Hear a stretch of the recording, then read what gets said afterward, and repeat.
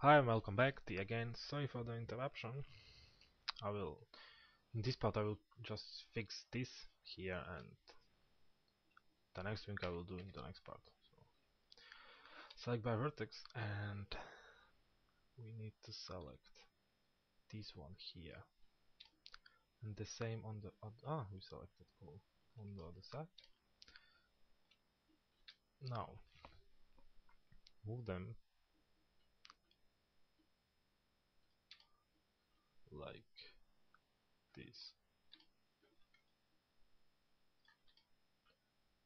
To make them just a little bit around hmm, maybe more.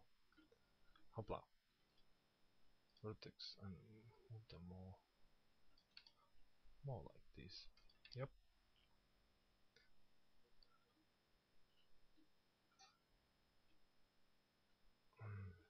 Okay now select these two. Move them a little bit back. Move these two back. This back. Now select these these loop. Ah it's working. Loop is working great.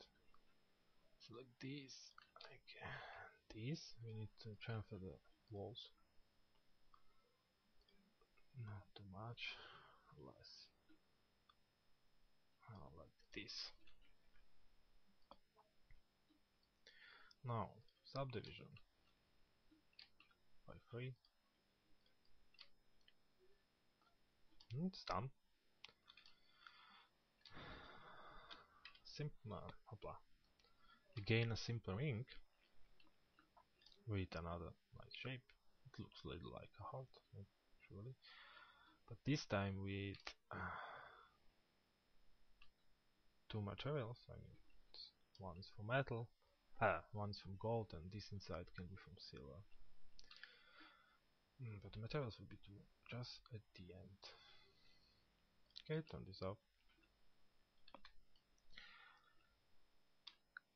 and actually I wanted just to fix this.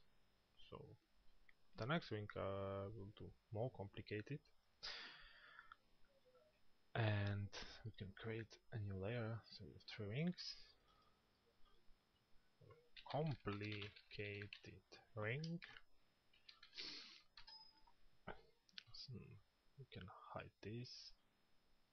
Z to zoom the scene we can start just to make the tube and the rest we will do in the next part so again a tube. If you remember the settings is the same like before. You can. Hopla. Okay, 44, 39, no, 39, yeah, make it a little bit more fat. This to 6, press a 4, hmm. Really 40, yeah, make it just 40.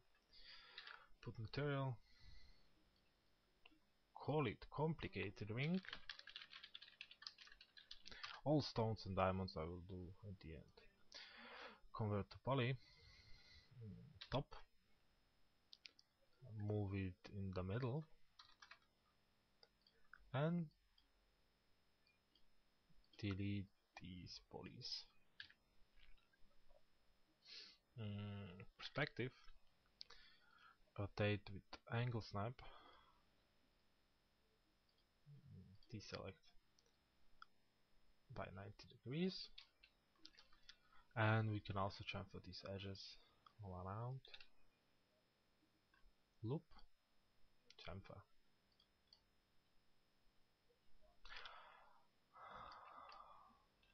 okay okay so I will stop here and continue the next part. So I have to think which shape I will use. I will search on Google for some references. Okay sorry see you in the next part. Bye bye